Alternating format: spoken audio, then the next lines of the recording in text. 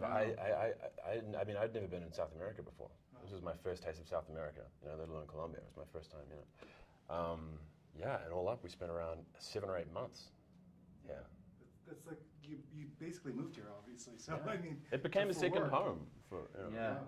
Yeah, it was definitely a sort of a living abroad experience, uh, and for me that was like a dream. I like I was very lucky and, and weird in that I grew up speaking Spanish, so I had that advantage to hitting the ground. So I was sort of uh, they were always like laughing because I was just always gone somewhere. when Always we out weren't exploring, shooting. eh? I was Yeah. like yeah in the you know in the mountains or in the Amazon, climbing a volcano, doing something, exploring it. It, it turned out to be a very I was maybe a little intimidated by Colombia, you know, but then it became it, it turned out to be such an easy place to travel and you know wonderful place to be.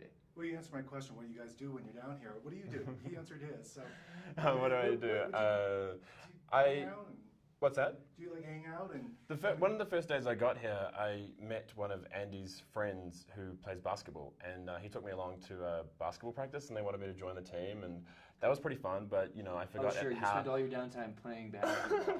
I didn't join the team, no, but um, I was too nervous about injuries. But um, but I forgot how like like how high um, like the altitude of Bogota, and I was just demolished after that practice, just so like dead on the floor. But I don't know, like I I, I, I saw also, some of the Colombians sites. know how to party. I mean, Colombians know how to party, yeah, They do yeah. definitely know how to party. Yeah. Now you guys got a very important job in the in this. Uh, I don't know if you were fans of season one and two before you even got the audition or whatever, however you got the job. But were you Yeah. watching it? I, I hadn't seen much of it. I'd seen enough to know that it was really good. Yeah. Um, so I knew like the, the, the caliber that I was dealing with, but I hadn't I didn't actually watch all of it until I had the part, and then I was like, wow, okay, this is gonna be awesome. Yeah, I hadn't seen any of it until I got the audition, and then I started, yeah, watching it and became a huge fan.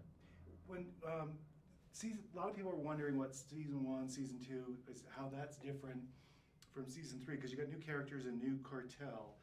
It really, one of the uh, one of your co-stars was telling me it's just one of them was like the old world. This is like uh, dot com world almost. The, the difference between the two.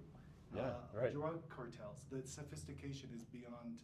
It's mind-boggling.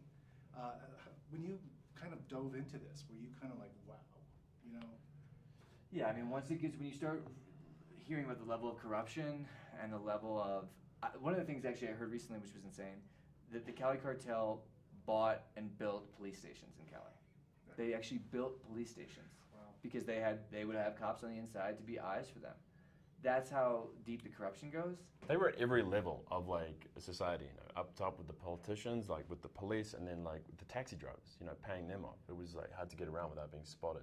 Yeah, impossible. But uh, yeah, and then they were very discreet, you know, like they went about their business. It always I mean, um, you know, some of the auditions that have been coming through lately have been like, I don't know, really exciting projects. I don't know. I, mean, I guess I, in a way, I'm sort of, well, we're, in a way, we're both sort of yet to see like where it will take us. I guess. Mm-hmm. Yeah, I think it's It's, it's, it's, it's, gonna interesting. when yeah. it when it comes out will be will be another thing. But there has been sort of a, a, a consideration of, okay, when you work on something this great, you know, you might not be able to work on something that's this great again right away, but you do want to like you want to hold out for special projects. You know, yeah. All right, guys, congratulations. Thank you. Awesome. Thanks. Thanks a Yeah. lot. Please.